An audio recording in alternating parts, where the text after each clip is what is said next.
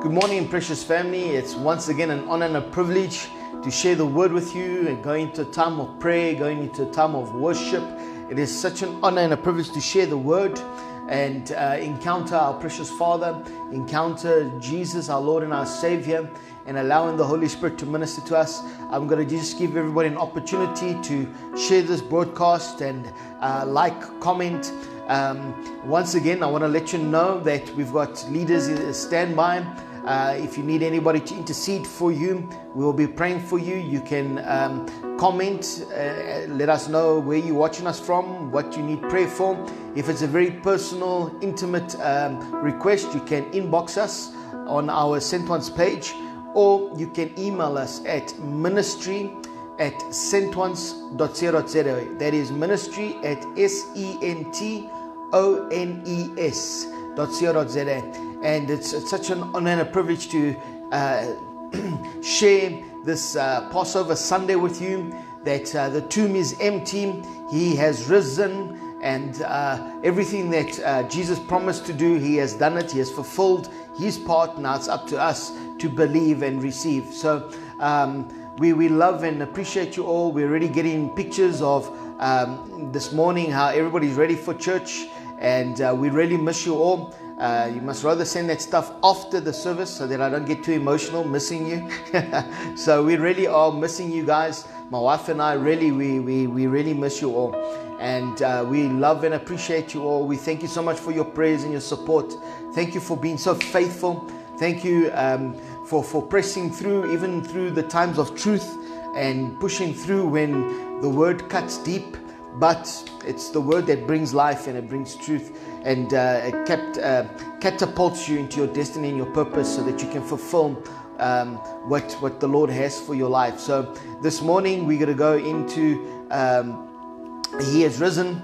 And uh, the Lord put on my heart, and I kept on hearing this morning as I woke up um, assistance from heaven. I kept on hearing assistance from heaven. So um, we're going to see today the assistance that you and I receive. Jesus could not fulfill his ministry without the assistance from heaven. And um, our lives, we, we are assisted. You must understand, He's equipped us, He's anointed us, He's appointed us. So there is great victory. So I'm just giving everybody an opportunity to still jump on and share this broadcast. Uh, let everybody know um, that we are having church this Sunday morning in your house, in the comfort of your homes, the freedom and the liberty to jump up and down, go crazy. Um, you can give your neighbor a high five. You can uh, point to your other neighbor, your next door neighbor, and say, I'm praying for you. Jesus is going to bless you. You're going to come to know your Lord and your Savior. You can look at the uh, neighbor behind you and say, The Lord is going to get you. God is going to bless you. You will all be saved in Jesus' mighty name. As soon as this lockdown is over, I'm going to be like a, a, a pit bull. You're going to just see me just uh, sharing the gospel everywhere I go. I'm going to be released and can't wait to share signs, wonders, and miracles with people, the good news of Jesus, the revelations that you have encountered in this time of um, unlocking and uh, truly being blessed by God. So, right now, we're going to prepare our hearts as we're going to go into a time of praise and worship. And um, there's no service without praise and worship. There's you need to understand that this moment right now has nothing to do with you. It has everything to do with Him. And I know that there's so many benefits from praise and worship, but we're not here looking for the benefits because uh, it's beautiful that God is so generous that in a moment that we should be blessing Him, He still wants to bless us. He cannot help Himself but to bless us. But we need to get a mindset this morning and say, Lord, we are here for you. We want to bless you. We're not here for what we can get out of you, but we want to love on you, Father. We just want to praise and honor you for what you have done by giving your Son so that we can become sons of God. So, right now, uh, just start to, to, to, open your heart and prepare your mind right now. Uh, get rid of all the distractions. Put your pen and your paper, your Bible, put everything in place right now. I'm giving you all the time to do what you need to do and, and, and make some space make some room in your house right now so that you can stand up and praise and worship. You can uh, kneel down, whatever is best for you. But right now is a time to bless God. We, we've been going through the scriptures these past two days about the Passover and what the Lord has done for us. And I truly believe that He deserves so much more than what we are currently giving Him because He has done so much for us. There is so much that He has done for us. So, right now, we come to you, Father God, in the name that is above every other name, Jesus Christ, the Waymaker, the one that has given us eternal life. He is truth, and we can only come to you, Father, through the Son. Father, we just thank you for Jesus. We just thank you for his sacrifice. Thank you for his victory so that we, Lord God, have been redeemed, that we have been healed, we have been delivered, we have been set free. Thank you, Lord God, that our sins have been forgiven.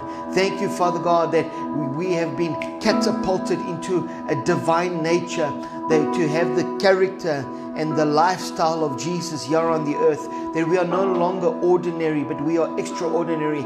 We are supernatural, filled with the Spirit of God, with the Word of God, cleansed, completely set free. Yes, we may be in this world, but we are not of this world. We are from a different dimension. Yes, Lord, we're from a heavenly dimension, and we have the assistance of heaven. Father, we just thank you that you, you, you punished your Son in our place. He suffered in our place. Thank you so much, Lord, that we can come to you without uh, sin, without shame, no guilt.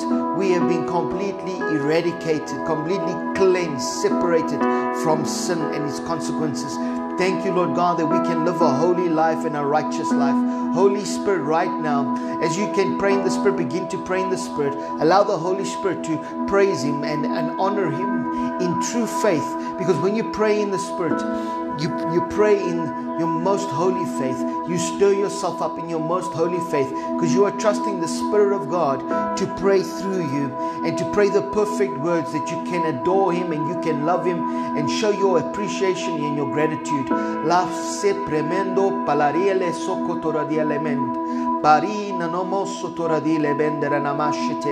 We love you and adore you, precious Father. We thank you, Father God, from the bottom of our hearts. We have all eternity to uh, appreciate you and show you our gratitude.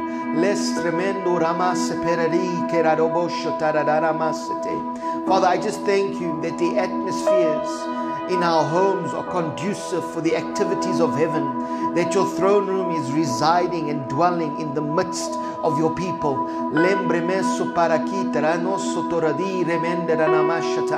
So that we may praise you and honor you, Lord God, from a genuine faith, from a, a sincere faith, and a heart that is truly genuine unto you, a heart that has been captivated by your love, and a mind that is totally filled and obsessed with you, my Lord, that we are so besotted, so obsessed, so in love with you, my Lord. Las tremendo hendramas. Father, let the meditation of our hearts be pleasing unto you, that the words that come forth from our lips be fruit that you may partake of and eat, my Lord, that we may bless you this morning, that we may bless you with this life that you have given us. Thank you, Father God, for your presence. Thank you, Father God, for your anointing, your grace, your mercy. We thank you, Father God, for your goodness and your faithfulness. We thank you, Father God, for taking care of us. Thank you for being so consistent and faithful, even when we weren't faithful, my Lord, nor consistent in our walk with you. Thank you for remaining the same yesterday, today, and forever.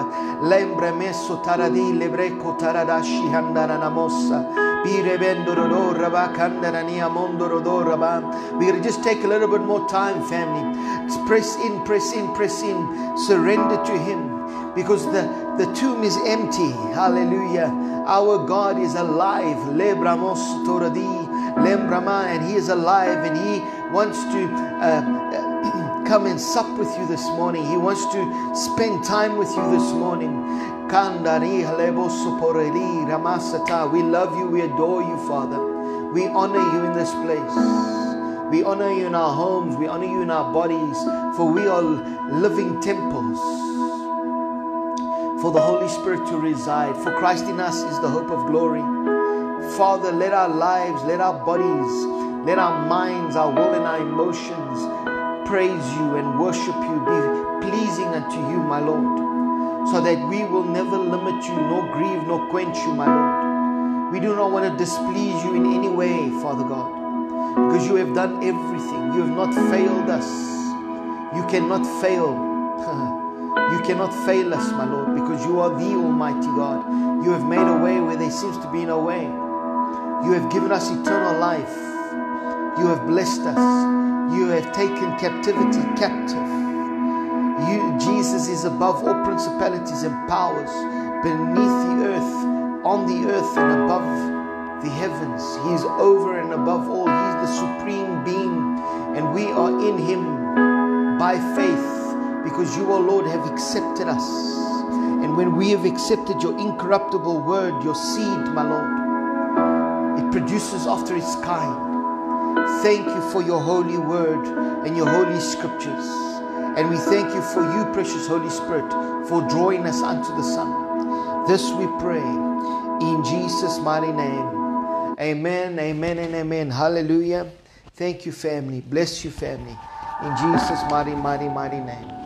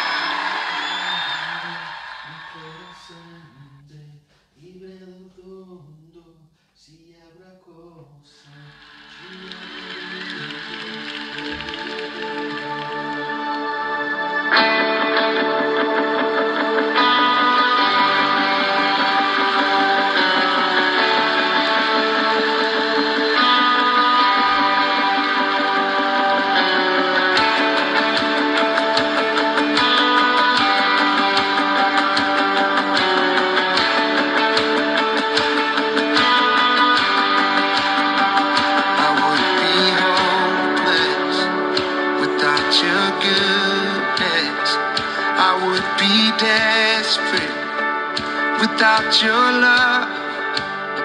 Slave to the darkness.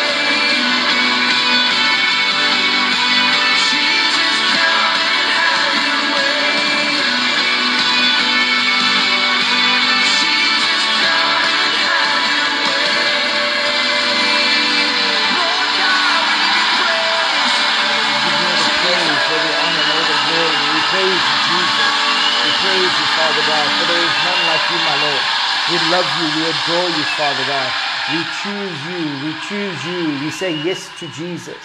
We say yes to Jesus. Hallelujah. We thank you, Father God, for your presence. We thank you for your mercy. We thank you for your goodness. Thank you, Father God, for being who you are. Thank you for giving us revelation and understanding so that we can communicate and uh, grow in you, knowing you day by day. Thank you, Father God, that we can know you through your word and by the leading of your spirit. Thank you that as we look at the life of Jesus, we can see the Father's heart. We thank you, Father God. This we pray in Jesus' mighty name. Amen, amen, and amen. Hallelujah. Praise God, praise God, praise God. It's good to be in the house of the Lord. Just that last song, uh, uh the words are so powerful, saying, No matter what will come, I'll always choose you. And um, you need to understand every day, true Christians face this choice to follow Jesus or follow another way. There are so many ways of living today. You can follow the world system, you can follow your own desire, but the most difficult one is to choose to follow Jesus, to follow Him and do what um, His will, to please the Father, because sin is so easy. To live a righteous and holy life is a lot more difficult. But the good news is God has given us the Holy Spirit to empower us. He's, uh, he's endued us with power and the ability to overcome. But it comes down to a choice. I choose to stand in a love that will never fade away. When we come to understand the revelation and the power that God has for us and the love that He has for us, His ability, and when we fully trust and are affirmed and secured in Him, we will not choose another way. And you will not backslide because you've made a choice to follow Him and when you choose to follow Him, yes, trials and tribulations will come. Yes, persecution will come. But all these things you will overcome because there is resistance. The enemy wants to come against and, and, discredit the Lord. And there are people out there that also want to discredit God. You know, so you need to understand there will come resistance. You know, even if you choose to be an atheist, there's resistance against your belief system. If you're into Scientology, there's always resistance. If you're a herbalist, somebody will come against what you believe. So I rather choose the true truth and the true um, religion, uh, the true faith, which is Jesus, and I rather find resistance there. You know, even if you are a drug addict, a prostitute, whatever you are, you'll find resistance. People will judge you the, by the way you dress, even whether you wear a suit, whether you're wearing shorts, plakkies, whatever, flip flops. So people will always judge you. There will always be resistance, and you cannot please man. But there's only one thing that I have in my heart, and my greatest desire is to see people pleasing God. That is my greatest desire. I'm not worried about the opinions of men because many people have opinions. But I'd rather know the truth, and it's the truth that will set you free. And the truth today is um, Muhammad, Hari Krishna, Buddha, they are all dead. But Jesus is alive. That is the truth and He is interested and He's intentional in our lives. You need to understand that our God that we serve, He has prepared a feast for you and I. When you look at these idols and these dead gods that so many uh, religions are following, they have to make a feast for their God. But our God has prepared a feast in the midst of our enemies. God is the one that has made the way. And I just want you to understand, my brother and my sister, no matter what you are facing, no matter what resistance may come, the Bible makes it very clear submit unto God and you can resist the devil. If you are weak and you fatigue and you got no energy, no strength, we need to wait upon the Lord because when we wait upon the Lord, we are strengthened. And if you still don't have time to make uh, to wait on the Lord in our weakness, He made His strength is made perfect. So His strength through us is made perfect. So you need to understand God has made so many default settings for us to be victorious. No matter what the enemy throws, what life may throw, what the enemy may throw at us, God has made a way for you and I to overcome, to shine brighter, to always be on top. So you need to understand, even when death is knocking on your door, there is a voice crying out, I am the way, I am the truth, I am the life. So even if there's poverty knocking on your door, Jesus is saying, I have come to give you life and life in abundance. You need to understand when sickness is knocking on your door, Jesus is crying and saying, I am your healer, I am your provider. So all we need to do is run to Jesus. He is the solution, He is the answer. Okay? To all of our questions, all of our questions. And the youth right now, when you write exams, you can't just put Jesus because He is the answer, but not to mathematics, okay? But you need to understand Jesus is the solution to all the world's problems. People just need to turn to Him, need to understand who He is, and turn from their wicked ways. And we will see this entire nation, our communities, our families change once they focus on Jesus. So I need you to understand that this morning we're going to see how people, even while they walked with Jesus and in the time of the resurrection of Christ, when the tomb was empty, still people did not believe. So there's only a time when people come to the full understanding, where they come to the full revelation of who Jesus is, and that is through heavenly assistance. There's two types of assistance. Number one is the angelic assistance. You need to understand that the angels were so involved in the ministry of Jesus. Angels are so involved in our lives. They are ministering spirits unto the heirs of salvation. If you receive salvation, you are an heir to salvation. So when you look, angels announced the coming of Christ. Angels were ascending and descending on the Son of God. He was, uh, they were ministering with him. They were operating with him. That even at his death, angels appeared. Even when he uh, was taken up into the heavenly realms, angels were there. So you need to understand that there is angelic assistance around us 24 7, 365. That you need to understand we have heaven backing us up. Then we have the greatest assistance, which is the Holy Spirit. The Holy Spirit within us and the Holy Spirit upon us. So I want you to understand that God has not left us as orphans, He has not left us unequipped. He has he's, he's given us enough assistance to live a successful Christian life. Once again, we, we've looked over this weekend about Jesus has forgiven our sins, and that is beautiful. It's more than just being forgiven. Jesus has paid the price for poverty, for sickness and disease. It's beautiful. It's more than that because He is our healer, He is our provider.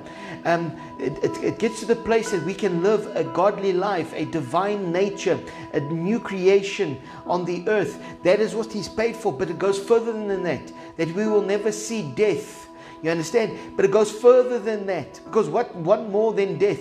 That you and I are assisted. So you're not left without assistance. And we've got heavenly assistance. So I, I, that, that, that is basically um, what I want to share this morning that we have got heaven backing us up. So you can never say you have been forsaken. You can never say you are alone because there were angels were assisting with Jesus even the time when he went into the 40 day fast and he was tempted by the devil. The angels assisted him. Even in Gethsemane when he was sweating blood the angels assisted him.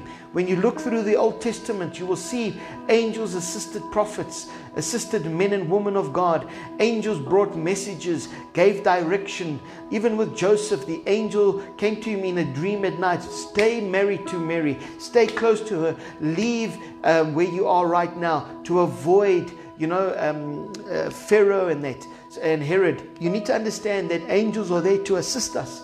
But above all, the Holy Spirit, He's the administrator of heaven. So the angels and that move through the Holy Spirit as the Holy Spirit leads and guides. We do not worship angels, you need to understand that. But they are there to assist us, to fulfill the assignment. Jesus could not fulfill his assignment if the angels weren't there to assist him. Okay, so I, I want you to understand you and I, we are assisted. That is what the Lord paid for, so that heaven is backing you and up, uh, you and myself up. So that is the good news. It's more than being forgiven, it's more than being healed, it's more than being delivered, it's more than um, di- uh, dying, it's living eternally. And while you are living now on the earth, you are assisted. Praise God. Amen. Hallelujah. So I want to go into the four gospels on the account of when everybody went to the tomb and you're going to see something very powerful you're going to see different perspectives from the various writers but you're going to see something extremely powerful here all right so if you're taking notes um, we're going to matthew 28 verse 1 to 8 Matthew 28, verse 1 to 8. And it, say, it says, Now after the Sabbath, as the first day of the week began to dawn, Mary Magdalene and other Mary came to see the tomb. And behold, there was a great earthquake, for an angel of the Lord descended from heaven and came and rolled back the stone from the door and sat on it. See, an angel came to assist and moved the, the door, uh, the, the, the, the, stone away. Because you'll see in another um, gospel, the, the ladies asked, How will we be able to move the stone? And we see here the angels we assisted them by moving the rock. Amen. And it says, And came and rolled back the stone from the door and sat on it. His countenance was like lightning, and his clothing as white as snow. And the gods shook for fear of him, and became like dead men. But the angel answered and said to the woman, So the angel spoke to them, okay? Do not be afraid, for I know that you seek Jesus who was crucified. He is not here. Amen. That must be such an exciting thing to hear that somebody tells you, listen here, Jesus is not here for he is risen as he said. So yeah, the angel is saying, the angels will only confirm what the Lord has already said. Jesus spoke to his disciples and he told them that I need to be persecuted. I need to go through crucifixion. I will be in the belly of the fish like, no, uh, like uh, Jonah and I will come to life. He, he shared it many a times. Even in uh, John 11, verse 25, he says, I, If you believe, don't you know I am the resurrection? I am the life. He is the resurrection. So the angel confirmed what Jesus said. An angel will not speak on his own, will not come up with anything that's contrary to the word of God and what the Spirit of God is saying. Come see the place where the Lord lay and go quickly and tell his disciples that he is risen from the dead. So he's saying that Jesus was dead, but he has risen from the dead. And indeed, he is going before you into Galilee. There you will see him. Behold, I have told you. So they went out quickly from the tomb with fear and great joy. So they must it must have been a very confusing moment because their emotions, they saw a couple of days the trauma they must have experienced watching Jesus being beaten, hung up on a cruel cross, and the way he had treated he, was treated, they did not recognize him. So they were going through all of this through the process of mourning and emotionally, and, and they were struggling with their humanity, their carnality, saying, Here was this mighty man. We walked with him for three years. We saw mighty signs and wonders. We saw him raise the dead. We saw him um, heal the lepers. We saw him do miracles that no man had done in the past. But yet, he, he's the one to save us, but yet he could not save himself.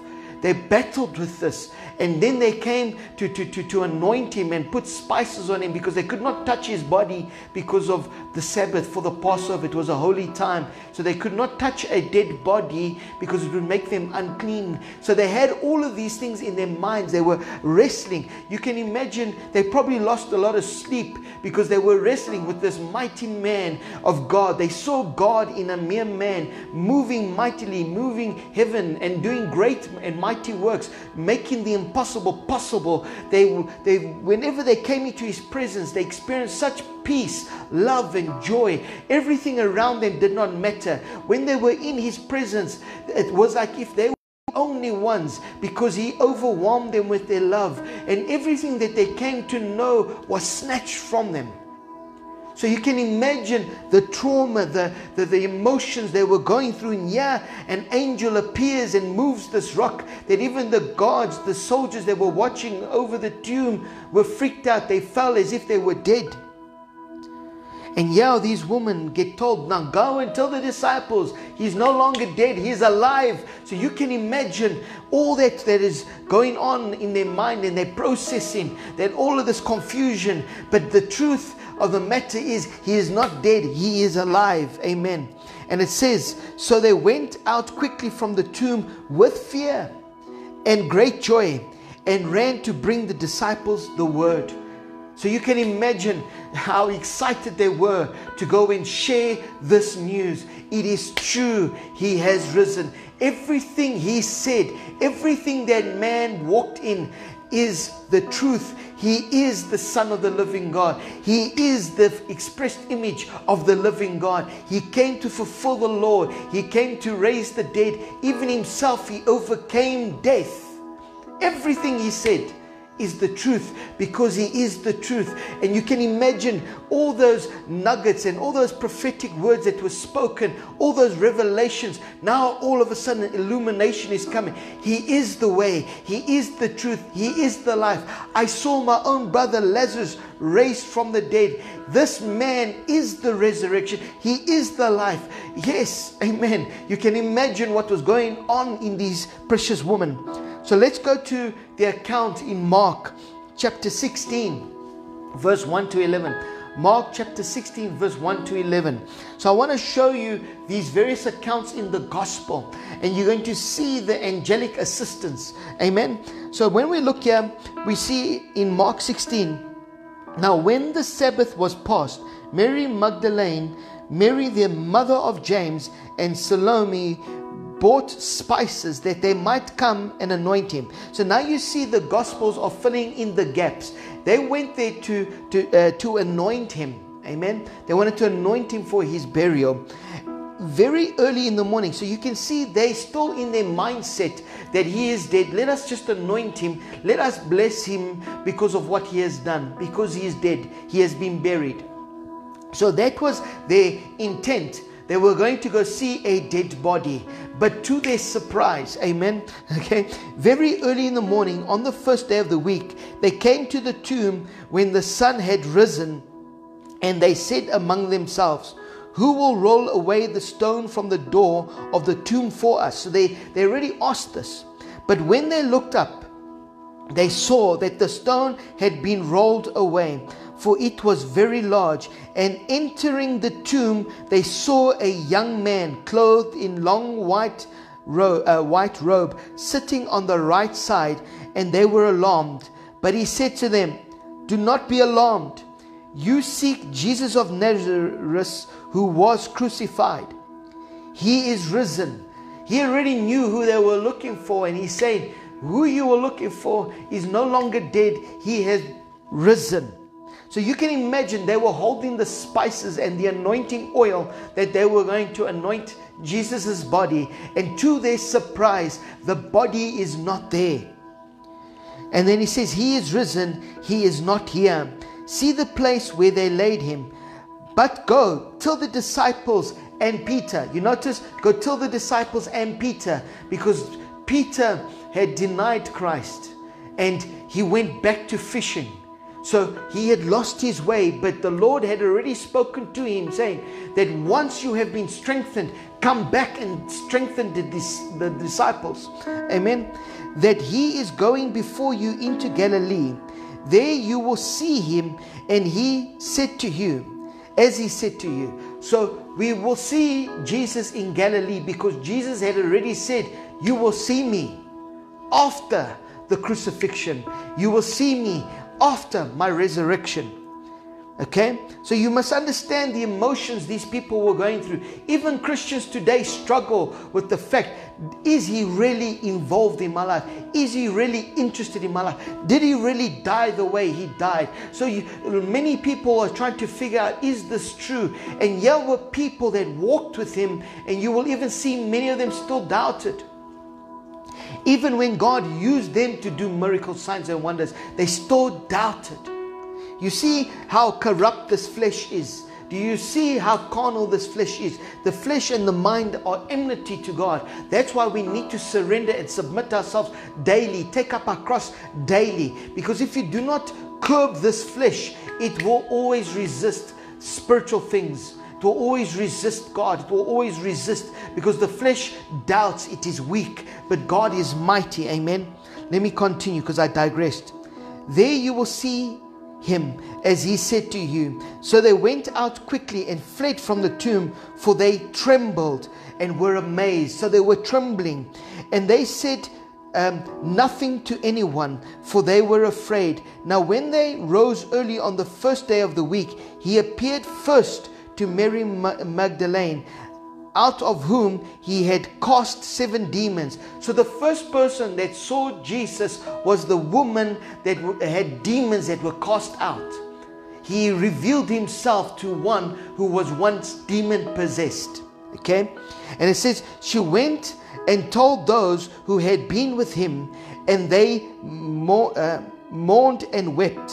And when they heard that he was alive and had been seen by her, they did not believe.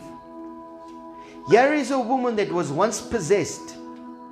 They saw Jesus cast out seven demons out of her. She had an encounter with Jesus and she went to go tell the disciples, and they did not believe. Imagine people who walked with Jesus still did not believe. So, ministers, Christians, we must not be surprised when people still don't believe. People will see signs, they will see miracles, they will see wonders, but they still will not believe. And it's so sad, it breaks my heart and it breaks our leaders' hearts when you see people come into your ministry or the Lord's ministry. It's not our ministry, it's the Lord's ministry. We're just vessels that the Lord uses. And when you see people who come to church, receive their marry, uh, their healing, their breakthrough, they come and they get their marriages restored and they just leave Jesus. They come and get what they want, but they don't live a life. They go back to the drugs, they go back to the addictions. You know, it's so sad, it's heart aching. It breaks my heart when we see people being touched by the power and the presence of God, but they rather choose the old way than going the new way. Amen. Luke 24, verse 1 to 12. Now we're going to look at the, this from a different perspective. So we see in, in Matthew and Mark, we see the assistance of an angel, and we're going to continue to see the assistance of angels. Luke 24, verse 1 to 12 says, Now on the first day of the week, very early in the morning, they and certain other women with them came to the tomb bringing the spices which they had prepared, but they found the stone rolled away from the tomb. Then they went in and did not find the body of the Lord Jesus. And it happened, as they were greatly perplexed about this, that behold, two men stood by them in the shining in shining garments. Then, as they were afraid and bowed their faces to the earth, they said to them, Why do you seek the living among the dead? The angel said to the, the, the, the followers of Jesus, Why are you seeking the living amongst the dead?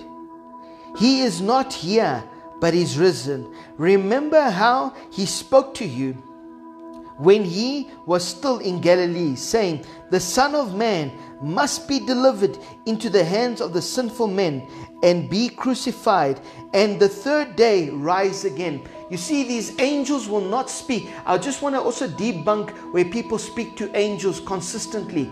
You need to understand these angels will only confirm the word of God and what Jesus had declared. They will only speak what the Lord has given them. Like Gabriel, he would only speak what the Father spoke. When he came to um, uh, Mary, he spoke to her and said, You highly favored one of God, that you will be the one that will bear and give birth to the Christ. When he when that same angel came to Zechariah and said to Zechariah that your wife Elizabeth will be Uh, impregnated and he said how is that possible that same angel shut his mouth so that he could not speak and he could not abort the promise of God so you need to understand that these angels that are truly from God not familiar spirits they will only speak according to the will and the purpose and the assignment of God so here these angels say listen here Jesus has already spoken that he said I will be crucified and on the third day I will be raised up. So they only confirm what Jesus said and according to the will of God. So they will assist and they will confirm what is in the written word because the Bible says the angels hearken to the word of God. They don't just hearken to what you say because we, yes, born again children is of, salvation are above angels, but we are not here to take advantage of them for silly things. We are here to fulfill the assignment of the Word of God. Amen. Okay, let's continue. The Son of Man must be delivered into the hands of sinful men and be crucified, and on the third day rise, rise again. And they remembered his words. Then they returned from the tomb and told all these things to the eleven and to all the rest. It was Mary Magdalene, Joanna, Mary the mother of James, and the other woman with them, who told these things to the apostles, and their words seemed to be like idle tales, and they did not believe them. So now we see once again, even though these uh, precious women heard from Jesus and they encountered Jesus and they encountered an angel or angels that confirmed what Jesus said, they went and they told the apostles, they went and told the rest those that were in, you know that will eventually be in the upper room they told those that were following jesus and they still did not believe so we must not be surprised in this day and age that people will still not believe in spite of what Jesus has done for us, in spite of what he went through for us. As we've been going through the Passover and we've been seeing what Jesus went through, there are still people out there that will still not believe. And it's heartbreaking. You can only imagine that the Almighty God, that, that, that nothing is impossible for him, still watches stands by and sees people still not believing. Look here, and their words seem to, to them like idle tales. When you share your testimony of how God set you free, it's like a tale to them, it's like a fairy tale. It is impossible. This is what the Lord spoke to me during the week. He showed me something very powerful. We need to be very careful how we t- teach our children because we program them from a very young age about these fairy tales. You notice it always ends up in, in a good and happy ending. So children start to think life is going to always be easy. So when life gets hard, it, it confuses them. So we need to be very careful to, to tell kids uh, life is always going to end in a happy ending. The only happy ending is an eternal ending with knowing Christ. That's the only true happy ending. But we must be careful uh, to not uh, teach children incorrectly because otherwise they formulate in their minds that it's always going to be hunky dory. And then when life gets a little bit difficult, then they struggle. So we need to be real with our children. We need to tell them the truth from the beginning so that they can already start to process these things and that there's no um, uh, uh, principles in their minds or experiences they put in their minds that limit them from experiencing the truth. That's why telling them the fables about certain things, you deal with them in this time. You know what type of animals and type of things that you need to deal with. Deal with your children because I don't know how many children are watching right now. But as parents, you need to tell them the truth do not deceive them in these times. Let them know the truth, and the truth will set them free. So that at a later stage, they will not think that the Bible is nothing more than a fable. That is what the Lord showed me. Many people think that this is a fable because as children, their parents taught them fairy tales. And when these when God moves mightily, signs, wonders, and miracles, they think it's nothing more than an idle fable. It is nothing more than a tale, it is a story. So we need to tell our te- teach our children the truth from the beginning so that when uh, there are, are, are, funny stories, they can discern at a young age and they can distinguish what is truth and what is not. Amen. So don't teach your children all these little tales and funny fables and that because eventually the Bible will be nothing more than a fable to them because of what um, was grounded in them from a young age. Amen. Okay, continue. But Peter arose and ran to the tomb. Even Peter, he, was, he did not believe. It was like, hey, but he still did something. He moved, he ran to the tomb, and stooping down, he saw the linen cloths lying by themselves, and he departed, marveling to himself at what had happened. So now you look, he's looking and introspect. He's saying, I heard Jesus say all these things. And Jesus said, Son, uh, um, Peter, what has been revealed to you has not been by the flesh, but by my Father who is in heaven. Because he had the revelation that Jesus was the Christ, the Son of the living God. But he still denied Jesus to a little slave girl, not to a soldier. He denied Jesus three times. And Jesus said, By the time the cock crows, you would have denied me three times. And and Peter had to look in the eyes of Jesus because Jesus looked at him at that time and he realized everything Jesus said was the truth. And Jesus said he would arise, but Yahweh, these women that came to him saying, Jesus is alive. An angel told us he is risen, and they still did not believe. So you can see the struggle that's the, the, the emotional battle, the mind, uh, the, the things that they were wrestling with because of the trauma of Christ dying. This is a man that was so powerful. Everything they needed, they got from him. When they were hungry, he supplied, he provided their protection. Everything they needed came from him and it was snatched away. And now they got to stand and say, We are alone. He is not the man that we thought he was, he is not the God that we thought he was. But he is everything because they're battling with their, their, their flesh.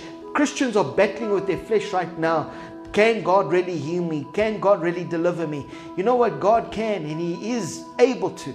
All we need to do is believe. Let's go to the Gospel of John and let's read the account there.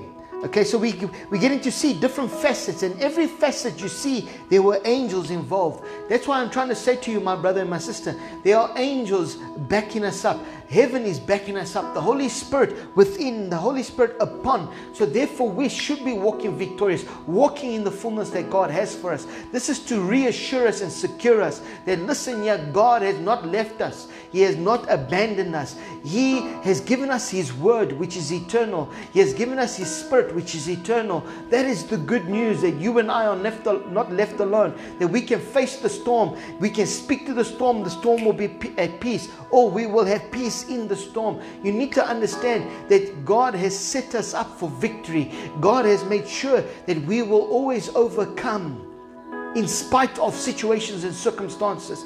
Even when you look at history, you see that there were plagues. Plagues will come and plagues will go, but one thing will remain that is Jesus. Amen. So let's go to the Gospel of John, uh, chapter 20, verse 1 to 18. John chapter 20, verse 1 to 18, and it says this. Now, on the first day of the week, Mary Magdalene went to the tomb early, while it was still dark, and saw that the stone had been taken away from the tomb.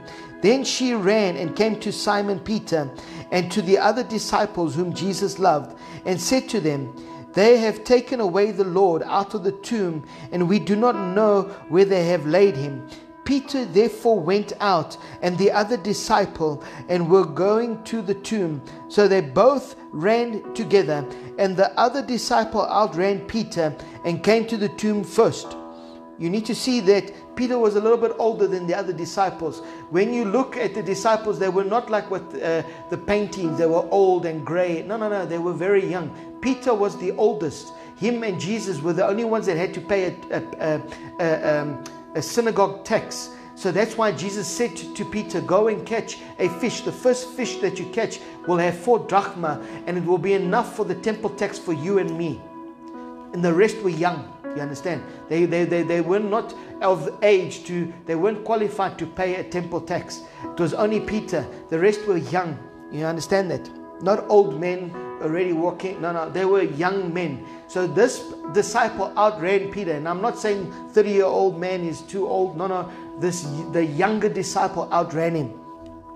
And he stood out and looking in, saw the linen lying there, yet he did not go in. Then Simon Peter came following him. See, this where he was younger, he respected the ranking that was already established. That Peter was an older man, he was a man that walked with Jesus. There was a ranking, they had a, a, a respect. So that's why he stood by the door. He did not enter and went into the tomb and he saw the linen cloth lying there and the handkerchief that had been around his head, not lying with the linen cloth, but folded together in place by itself.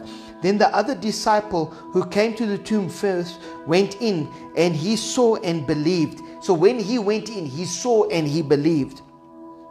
For as yet they did not know the scriptures that he must rise again from the dead. See, they did not know the scriptures, even though Jesus revealed to them that I need to be crucified and on the third day I will rise. Even though Jesus spoke to them, sometimes you notice it, the word of God falls on deaf ears. Sometimes people are so distracted with everything else that they do not, they're not paying attention to the Word of God. There are so many times we read the Bible, so many times we preach the Word, and another minister will come and say the very same thing, and the, the, the people will say, Oh, meanwhile, your pastor has been preaching that for the last six months, but somebody else comes along because that preacher, that pastor, you've become familiar. You go on YouTube and the YouTube minister is preaching the very same thing your pastor's been preaching for the last five years, and all of a sudden now it's like light bulb, ding. But here we see Jesus, the greatest teacher, the greatest rabbi of all teachers, spoke to them and taught them the scriptures, but yet they did not understand the scriptures. It did not rested in their heart. It, did, it was not revealed to them.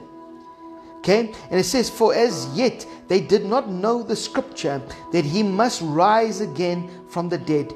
Then the disciples went away again to their own homes. But Mary stood outside by the tomb weeping. As she wept, she stood uh, she stooped down and looked into the tomb and she saw two angels in white sitting one at the head and the other at the feet where the body of Jesus had laid. Then they said to her woman why are you weeping? She said to them because they have taken away my lord and I do not know where they have laid him. You need to understand right now when people are so in the flesh look this woman is mourning that the supernatural is happening right in front of her, that she's not moved by the angels. People are not moved by the word. They are so uh, in, in, in um, captured by their flesh. They are so uh, um, distracted by their circumstance and their situation that they are missing a supernatural moment. When we preach the word, when we speak the word, people don't understand that the word is life, it is powerful. Even though the letter kills, it kills, okay, but the spirit brings life. You need to understand that the word is holy, it's supernatural, okay? And while you are so distracted with your needs, so distracted by the flesh, so distracted by who is sitting next to you, so distracted by the painting of the wall. we see it in church. People are so busy watching, they think they, they, they, they're so distracted by things that they're missing an opportunity to receive a word that will change their life, a word that will change their circumstances. And look here, this woman is weeping and an angel is speaking to her. So caught up in her grief so caught up in their sin, so caught up in their lack. I'm trying to get you to a place of understanding. When you come to the Lord, separate yourself from the things of this world. Separate yourself from your lack. Separate yourself from your need. Separate yourself from your want. Come to Him saying, Lord, all that I need right now is a word. All I need is a touch. All I need is you. Everything else does not matter. All that matters is you. Okay? Now, when she had said this, she turned around and saw Jesus standing there and did not know that it was Jesus. There are so many times people don't realize that God is using your pastor, God is using those leaders in your church. They are so caught up in themselves, so caught up in their need, so caught up in their lust, so caught up in their perversion that they don't even realize that Jesus is right there. They missed the gifts. That's why in Ephesians chapter 4 it speaks about Jesus has given mankind gifts, and that's the fivefold and people are taking for granted the fivefold. And I understand there are many that have abused the fivefold. But in this season, my brothers and my sisters, I am trusting God to give you the spirit of discernment so that you can discern what is of God and what is of the devil. Today, that you are going to obey the word of God and the spirit of God. You are not going to be so caught up in the idolatry of men, but you're going to be so in love, so in adoration of God that when you are worshiping God, you will hear God say, This is my servant. You will not be following people just to get to God. You'll be following God. And those people that God puts around you, you will hear from God saying, This is my servant. Listen to him. He will direct you in the season. He will mentor you to he or she will mentor you to fulfill your assignment. But you need to hear God's voice. Amen. Because we are not on this earth by ourselves. We are here to be the body. Amen. Okay, let me continue. Sorry, I digressed. Woman, why are you weeping? This is Jesus speaking to her, and she has not acknowledged Jesus because she is so overwhelmed. She's so in herself, dealing with her emotions, the trauma, the mourning for him. And now it's like they've stolen his body. Where have they taken his body? Okay. Woman, why are you weeping? Whom are you seeking? She's supposing him to be the gardener. So now she doesn't even think it's Jesus, a gardener. Said to him, Sir, if you have carried him away, tell me where you have laid him, and I will take him away. Jesus said to her, Mary. She turned and said to him, Rabboni, which is teacher. Jesus said to her, Do not cling to me, for I have not yet ascended to my Father. But go to my brethren and say to them, I am ascending to my Father and your Father. So now look here, he's not saying, Look here, you, you, you, my disciples anymore. He's saying, You are my brethren. I am going to my Father who is now your Father. How powerful is that? That's why I'm saying to you, you're no longer ordinary, you're no longer an orphan. Jesus paid such a heavy price so that you and I now come into the family of God. We come into the family of Christ, that He is our brother. That's what brethren means. He is our brother. Amen. We are looking for our sibling, Jesus Christ, to our Almighty Father who is in heaven. Amen. That is such good news. I am ascending to my Father and your Father, and to my God and your God. See, He's showing us now. I am going to my Father who is my God, and I'm going to your Father who is your God. So now he's personified. He is not just Jesus' God, he's not just Jesus' Father, he is our God and he is our Father. It's personified, he's in a personal God. Amen. Mary Magdalene came and told the disciples she had seen the Lord and he had spoken these things to her. Now, I want to just show you that through all these scriptures, the angels were there assisting, the angels were directing, angels were speaking, and they were revealing the Christ. So you will see that the Lord has not left us unassisted. We have got heaven backing us up. And today, I want you, my brother and my sister, to understand that God has given us angels to assist us, to administer His healing, to administer His creative miracles, to administer to the, the heirs of salvation. They are there to help us and to guide us. But the greatest assistance is the Holy Spirit. So when you look, the Passover is leading up to Pentecost when the Holy Spirit was given to all mankind. And through the Holy Spirit, we, you, we will actually see all these disciples that had doubts, those that were doubting, those that denied Christ, had a boldness because Jesus had become so real to them because of the Holy Spirit. The Holy Spirit, it says in John chapter 16, verse 13, that the Holy Spirit will not speak on his own. He will only testify of one, that is Jesus Christ. The Holy Spirit will not speak of himself, he will only direct and testify of Jesus. So that's why when you start uh, seeing people getting involved in all kinds of weird doctrine and uh, heresy and things again, you will see nothing points to Jesus. Everything is around a man, and it's not about a man, it's not about the fivefold, it's all about Jesus. The Holy Spirit only points to Jesus. Yes, Jesus has given us gifts of the fivefold, but those fivefold is there for one purpose that is to train up people and get them to spiritual maturity to become like Christ not to be the next apostle, not to be the next uh, prophet, not to be the next evangelist, but to become like Christ.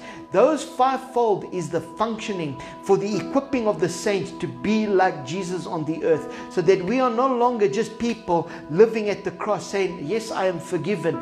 Yes, you have been forgiven, but that you go on the other side of the cross, that you have been crucified with Christ. Now, you, the life that you live, you have been resurrected. Excuse me, you have been resurrected with Christ, and the angels are there to assist you. When we look through this whole Passover, you will see God use the angels for uh, his judgment. In Exodus chapter 12, verse 23, in Exodus chapter 12, verse 23, we see that the Lord had this the angel called the destroyer, the angel of death. Okay, and look at this. For the Lord will pass through to strike the Egyptians, and when he sees the blood, now this is what you what you need to understand. When the angel saw the blood on the lintels. When the angel sees the blood on our lives, when Satan sees the blood of Jesus, he cannot touch you.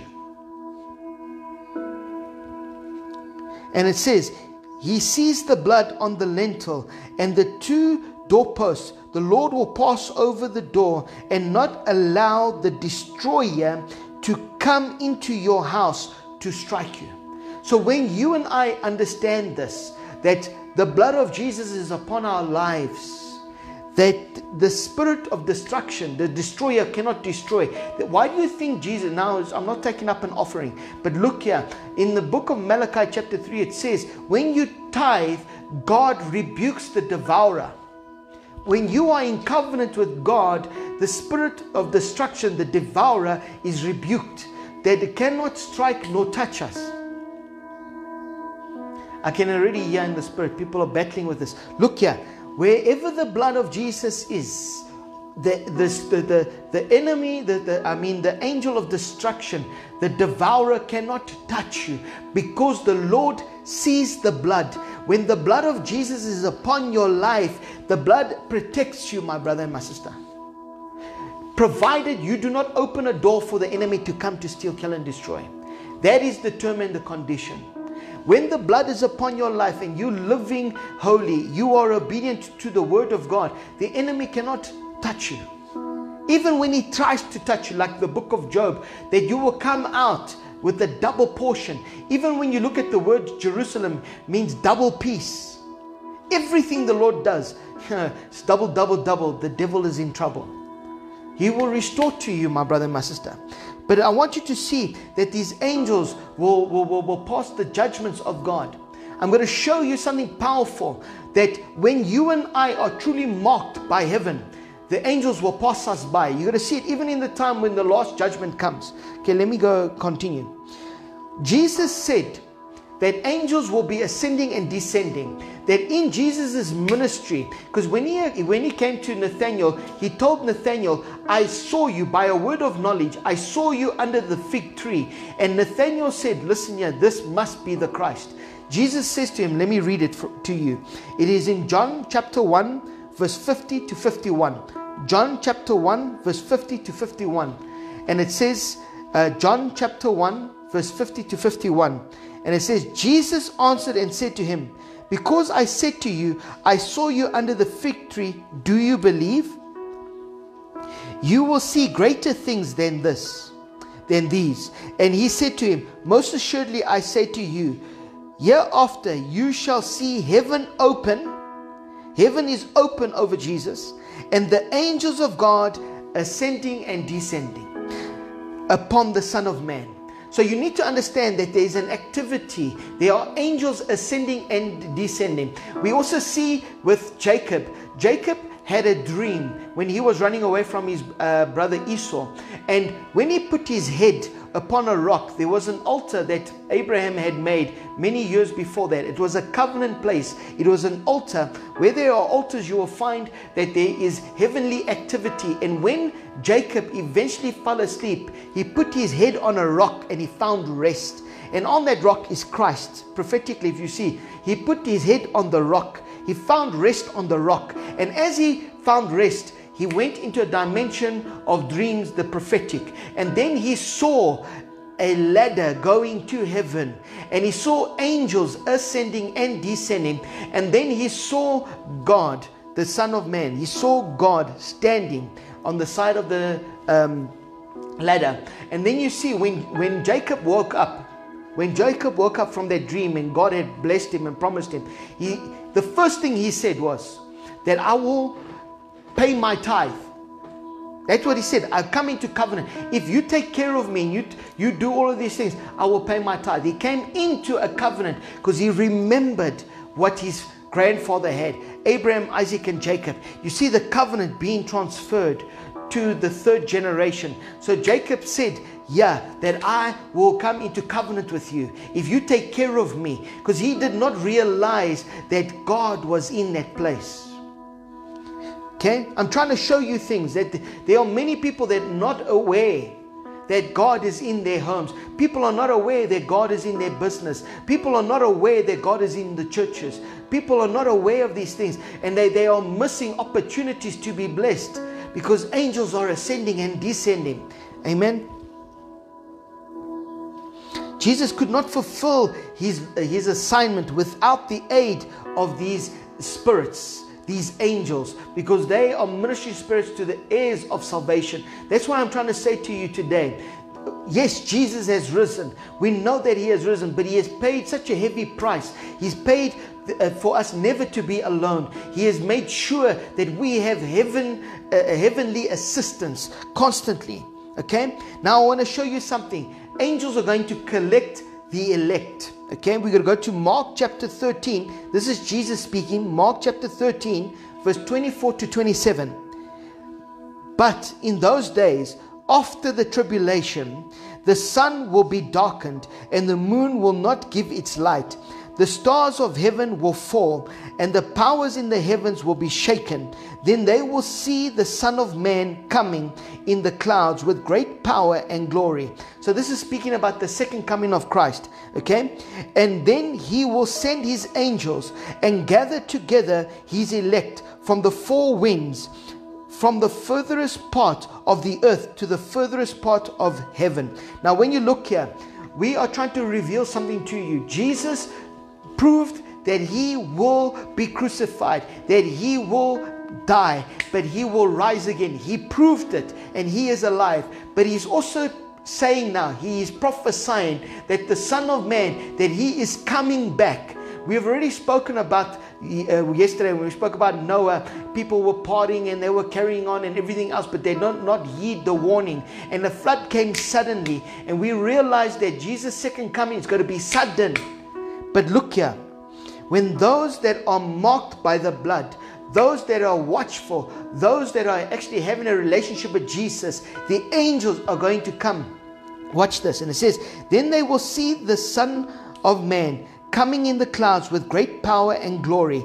And then he will send his angels. Jesus is going to send his angels and gather together his elect from the four winds. Look here, and, and, and you need to understand because I want to come against because there's funny teachings out there. Look here, the angels are only coming to collect those that are on the earth, not under the earth, which is Hades, hell. Only those that are on the earth and those that had passed on and are already in heaven. He's collecting those that are in heaven and those that are on the earth. Those that are his elect, those that said yes, those that chose to follow him. Nothing in hell once you are there, it is over. That's why I said yesterday we have an opportunity now to make right with God. Jesus has proved, he has prophesied, and he has said that I shall be crucified. I will go into hell in your place, like Noah in the belly of the fish, and I will rise up. I will rise up. And then he prophesies that he will be coming again. He will be coming again. And he's going to send his angels who will only collect his elect. So the angels are there for judgment. So the judgment is if you have received Jesus Christ, you are washed in the blood of Jesus, that those angels are going to collect you, that the devour and destruction will pass you by. The last death will pass you by because you will have the final life in Christ. That is good news. See, a lot of people want to come against angels and they want to debunk and discredit angels, but they are coming back for Jesus is elect, those that have chosen to follow Jesus. Amen. Matthew chapter 13, verse 37 to 43. I want to show you something so powerful, my brothers and my sisters, that Jesus has proved his crucifixion, he's proved his resurrection, and he's proving his second coming. And you and I need to get ready. Because, yes, it's exciting we've been saved. Yes, it's exciting we've been forgiven. Yes, it's exciting that He has risen. But He's saying, Family, I am coming back. I am coming back. Be ready. Remain ready. Amen. Let me get to the scriptures. He said, This is Jesus, and He said to them, He who sows the good seed is the Son of Man. He, he has sown the good seed. Uh, Matthew chapter 13, verse 37 to 43. Matthew chapter 13, verse 37 to 43. And he says, He said, He answered and he said to them, He who sows the good seed, that is the gospel, that is the word, this is the good seed. Jesus is the good seed, okay, is the Son of Man. The field is the world. The good seeds are the sons of the kingdom. Those who receive the word of God are the sons of the kingdom, but the tares are the sons of the wicked one. So you must understand there are two types of children in this world there are children of God and there's children of Satan. They are sons of the kingdom and they are sons of wickedness. Okay? Let me just repeat that. The good seed seeds are the sons of the kingdom because of the word of God. They have received it. Remember, yesterday I spoke about believing. It's one thing that you hear the word, but you must receive it, you must believe it, and live on it. And it says, But the tares are the sons of the wicked ones. The enemy who sowed them in is the devil. So the devil is sowing seed. He's bringing doubt, deception, trying to discredit the word of God and trying to discredit God. The harvest is the end of the age, and the reapers are the angels angels are coming. Therefore, as the tares are gathered and burned in the fire, you need to understand the tares, those that choose not to obey the word of God, those that do not choose Jesus Christ, are going to be collected and they're going to be thrown in the final judgment in the, the lake of Gehenna, the lake of fire. And it says, they will be gathered and burned in the fire. So it will be at the end of this age. The Son of Man will send out his angels, and they will gather out of his kingdom all things that offend and those who practice lawlessness, and will be cast them into the furnace of fire. There will be wailing and gnashing of teeth. Then the righteous will shine forth as the sun in the kingdom of their Father. He who has ears to hear, let him hear. I wish you could see what prophetically what the Lord is showing me. Jesus has already gone through the process over the Passover and he has already rehearsed this so that you and I we grasp the revelation at the age of 12 we got the word on the inside of us. We got the understanding that we should be about our father's business. We are going to be persecuted. We're going to be crucified. People are going to judge us, come against us. They're going to threaten us that we're going to die to the flesh like Jesus died. We were crucified with Christ. We were buried with Christ. So we are crucified and buried so that we died to this world, to the kingdom of darkness. And now we are resurrected in Christ into the kingdom of light.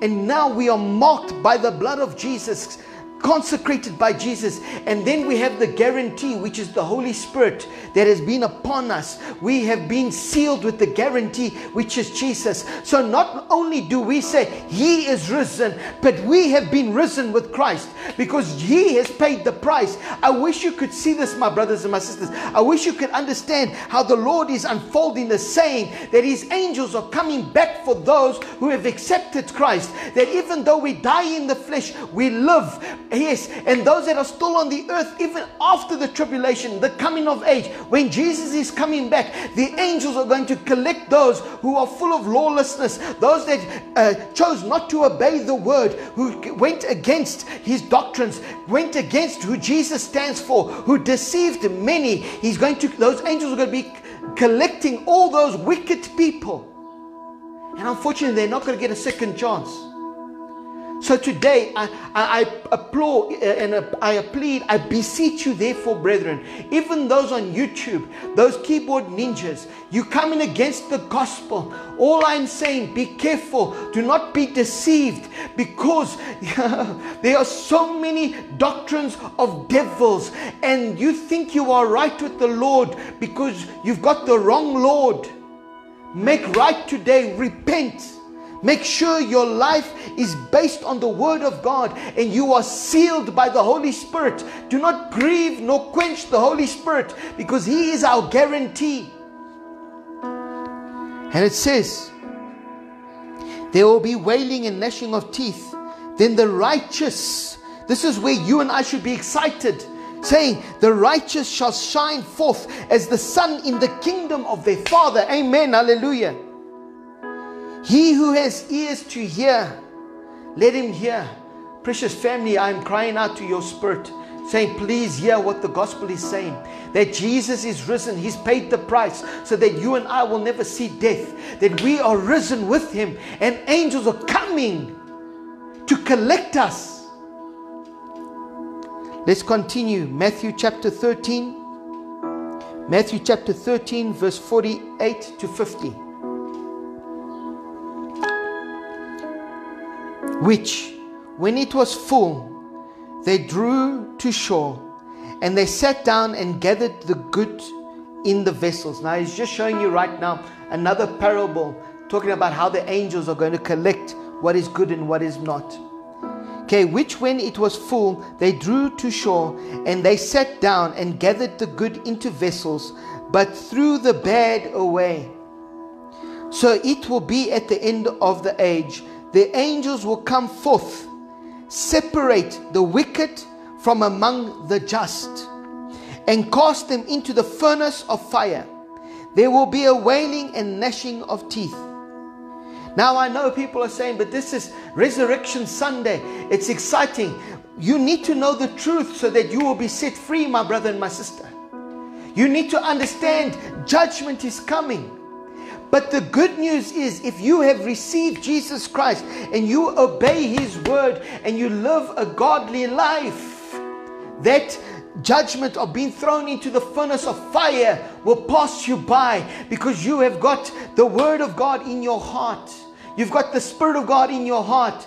You have been marked by the blood of Jesus for the remission of sin, that you have been sealed by the Holy Ghost. And God has not left you as an orphan. You are a son, so that when the time comes, the wicked will be separate from the just.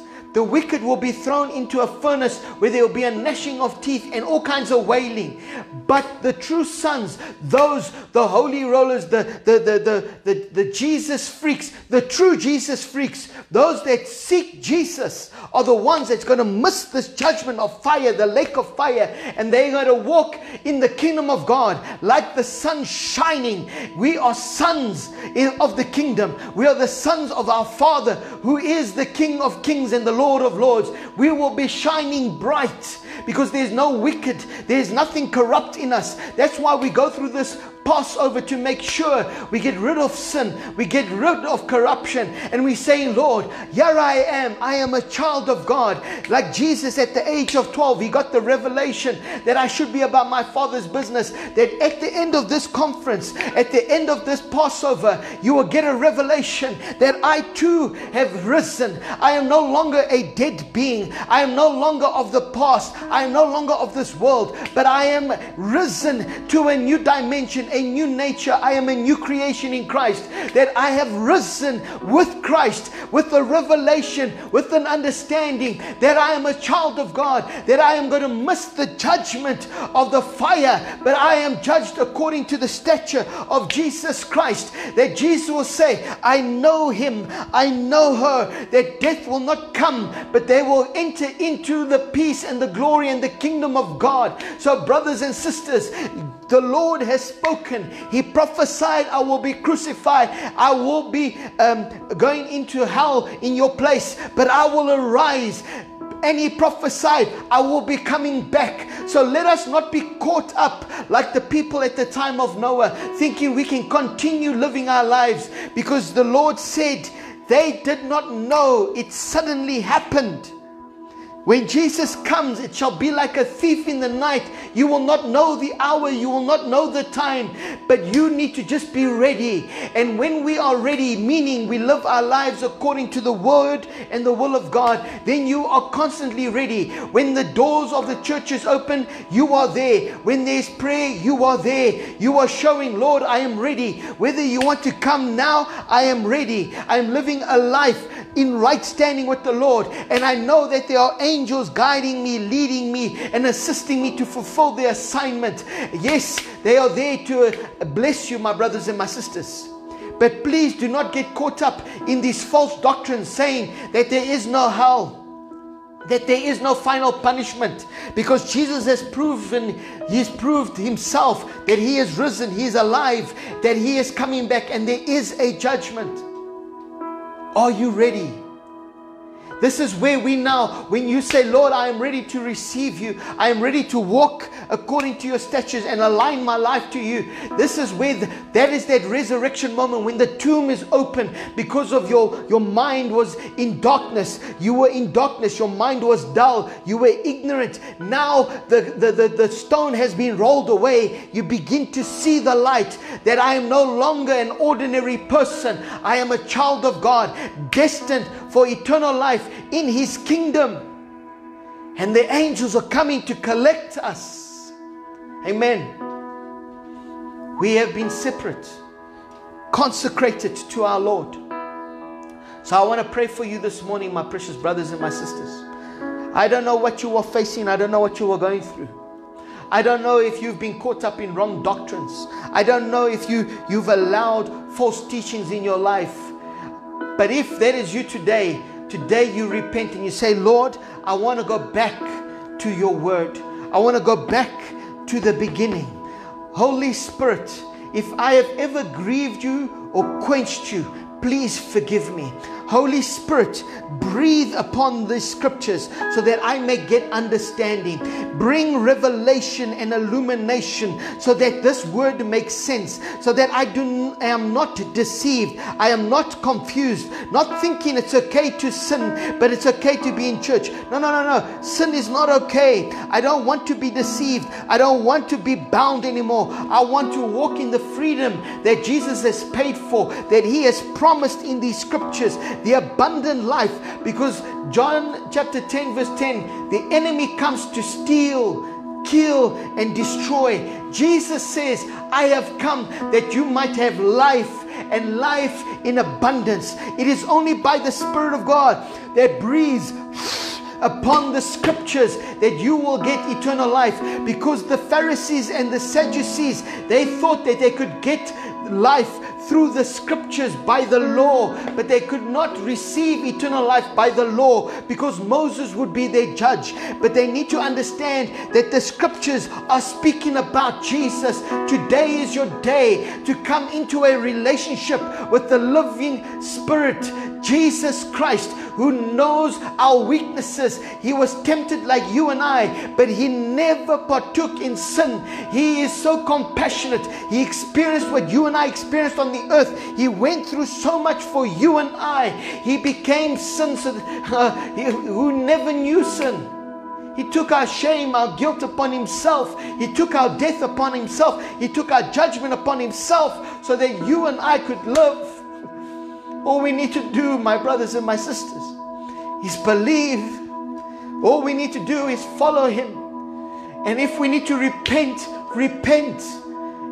Right now, repent. Ask Him to forgive you. Ask Him to forgive you when you have slipped up. Ask Him to get you out of that situation. Ask Him to help you with your addictions.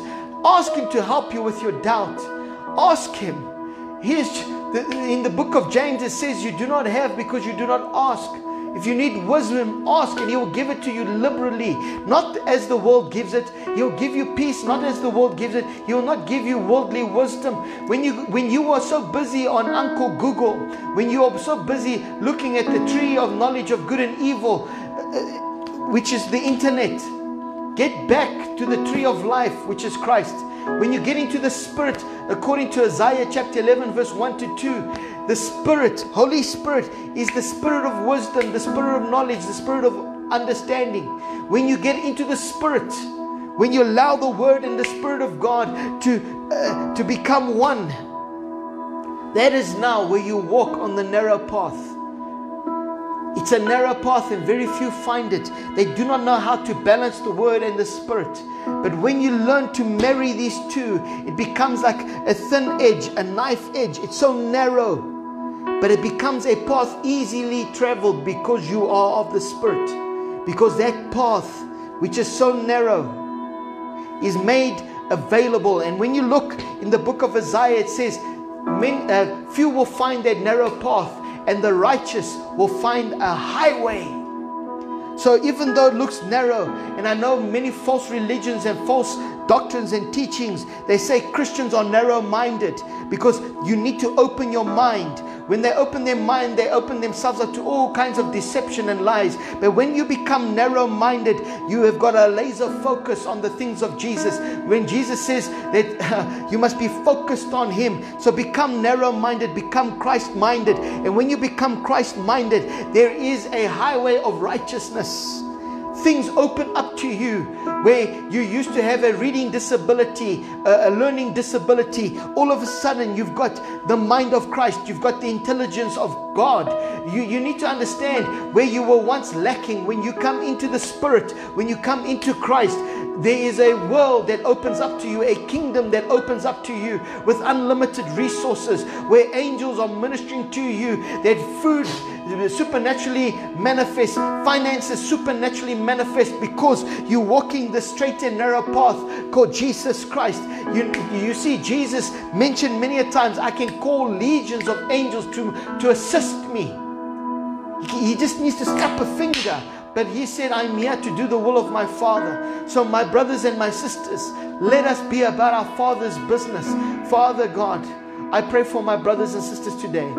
Father, that they will repent and they will continue to renew their mind through your word and allow you, precious Holy Spirit, to breathe upon the word, to bring understanding and revelation and insight. Father, that we will understand and that we will take you seriously Everything that Jesus prophesied, everything that the prophets prophesied according to the scriptures is true, and we will only find and live in your truth because Jesus is the way, He is the life, He is the truth. There is no other truth outside of Jesus. There is no other life outside of Jesus. There is no other way outside of Jesus. So today we must come to the realization it is Jesus or nothing. We need to put in all our chips and say, I am sold out for Jesus. I am done with alcohol. I am done with drugs. I am done with, um, with, with bankrupt relationships. I am done. And all I want is Jesus. Because He truly loves me. He truly loves you. He is the only way to true success. You don't need to rip people off. You don't need to steal. You don't need to manipulate. Jesus is the way to success. He is the way to life. He is the way to truth. He is the way to eternal life. He is the resurrection. He is the life. There is no other way. It is Jesus, Jesus, Jesus. People can try and dis, uh, discredit this word, but uh, I have seen too much. I have seen the dead raised. I have seen blind eyes open. I have seen the deaf hear. I have seen the lame walk. I have seen, I've seen too much, my brother and my sister. You cannot convince me otherwise. Everything that Jesus has said, I have seen it happen in my life. And there's things that's happening even greater things to come. So do not lose hope because He is your hope. Do not lose faith because He is your faith. Let Jesus become so alive and real to you today, my brothers and my sisters. Obey His word. He will never lead you astray. He will never lead you astray. Precious Holy Spirit, I pray that every heart is being convicted right now Lord, whatever strongholds that are limiting your children from stepping into the realm of the Spirit be removed now in Jesus' mighty name. Every altar that has been raised against the children of God, right now, we bring those altars down in Jesus' mighty name. Every form of witchcraft be nullified now in Jesus' mighty name. Those ministers, those agents of darkness, they come uh, uh, wolves in sheep's clothing. You be exposed now in Jesus' mighty name. Father, I pray that your children have the spirit of discernment. Father, I pray for this, the fear of the Lord to come to the church once again, that we honor you and reverence you, that we understand your scriptures and the importance of our obedience. Because our eternity, our eternity is in the balance. And Father, we want to walk that straight and narrow path. And we know we cannot do it by ourselves, but we thank you for the assistance of the Holy Spirit. We thank you for the assistance of heaven, the angels that are ascending and descending. We thank you, Father God, for your holy scriptures. We thank you for your eternal word that is written and it is spoken to us, confirmed to us by your Spirit, your Holy Spirit, and by those vessels the fivefold who are truly humbling themselves, not drawing men unto themselves, but they are drawing men unto Christ. They are being led by the Spirit and they are stepping out of the way, like John the Baptist, and saying, I am preparing the people for the coming of Christ. Let us get out of our ways. Let us get out of our pride. Let us get out of our fame, glitz, and glamour. Let us not become uh, idols unto men. But let us be billboards pointing to Christ, pointing to Jesus. All that truly matters is Jesus. Let us have the heart like John the Baptist and say that I must decrease so that he may increase. Let us let our ministries become pure again. Let us do the gospel for the right reasons. It's not about finances. It's not about fame. It's not about how many people follow your page. It's about how many people are following Jesus. Let us get back to the basics. Let us honor the Lord. Let us live righteous and holy. Let us not be deceived. Let us not play church. Let us not play with the enemy any longer. Let us get serious and obey Him because He's paid such a heavy price. Salvation is free, but it did not come cheap, my brother and my sister. Heaven went bankrupt for you and I so that we could have heaven instilled in us, the kingdom of God established in us. Father, we pray this in our hearts. Remove the veil of deception, the scales off of our eyes. Father, I pray for your children. Let them see deception for what it is. Father, let them see how they have been in the. I, I just see people bound in a web, a web of deception. Father, I pray that your light shines. Let them see the truth and step out of those wicked ways, step out of the deception and come to know you. And in knowing you, they may come to know themselves, my Lord. Father, Jesus has risen. And today, by this message, I pray that people have risen out of deception. People have risen out of the miry clay.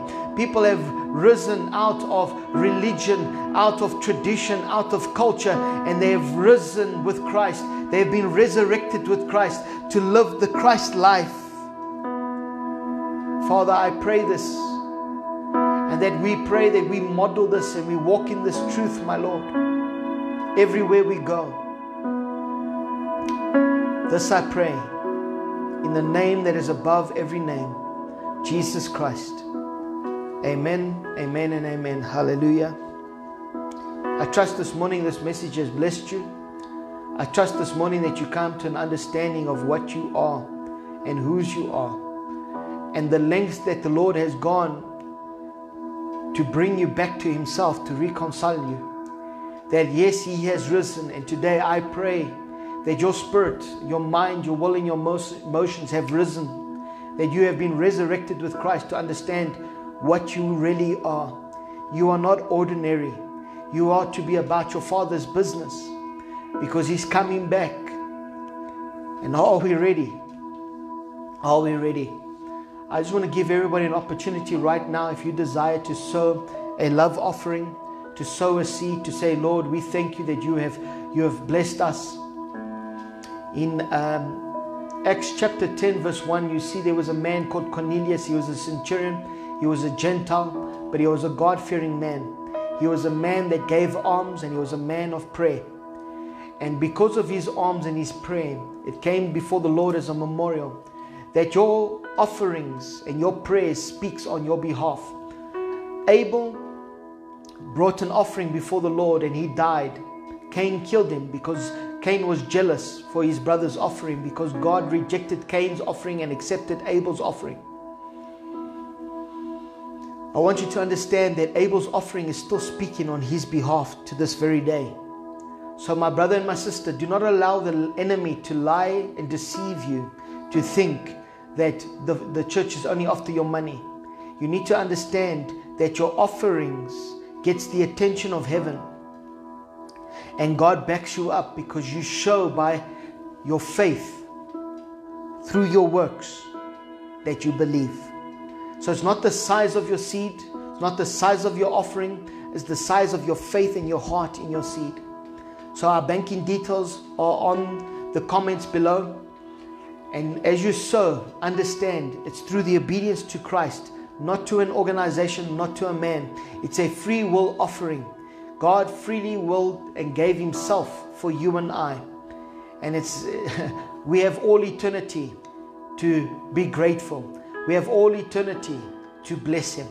So, whatever offering is on your heart, I just want to pray. Father, we just thank you with our offerings, what we bring to you, Lord God. It impels in comparison to the greatest offering, which is your Son. But we thank you right now that you accept our offering, my Lord, that our heart is fully persuaded. Our heart is completely behind our offering. That w- our intention is to bless you and to honor you today. Thank you, Father God, that we have the attention of heaven. Thank you, Father God, that we have angels, the assistance of heaven, the angels and Holy Spirit. We thank you, Lord.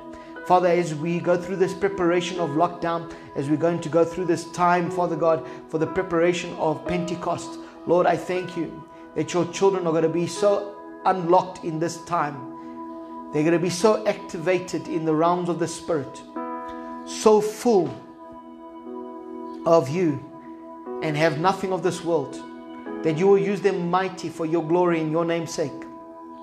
Father, that the true church will arise Father, speak to us, work through us, move through us. This we pray in Jesus' mighty name. Amen, amen, amen. Hallelujah. I just want to let you all know, family, that tonight we will miss you. There'll be no service tonight. You can spend time with your families. You can uh, video call each other while you're braaiing, whatever you are doing. But I just want to let you know tonight we will miss you. We will not have an evening service. And then tomorrow morning, devotional will be at 10 a.m. The time has changed, it's a new time. So, uh, Pastor Natalie will uh, be on tomorrow at 10 a.m. So, I guess that's obviously for those that want to sleep in, I don't know, or, or those that are uh, busy with work and that and they need to get things done. So, you got time for 10 a.m. So, family, we love you, we appreciate you. My wife is missing you, I am missing you.